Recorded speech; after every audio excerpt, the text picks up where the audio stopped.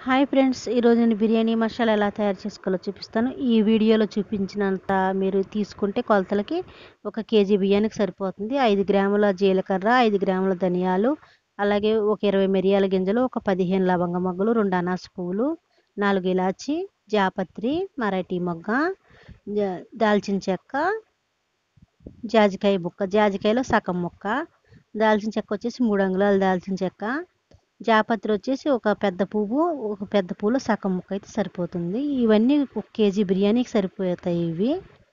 మీరు మిగతా రెండు కేజీలు అలా చేసుకోవాలంటే ఈ కొలతల ప్రకారం చేసుకుంటే పర్ఫెక్ట్ అయిన బిర్యానీ మసాలా వస్తుంది. చాలా బాగుంటుంది. ఒకసారి ట్రై చేసి చూడండి.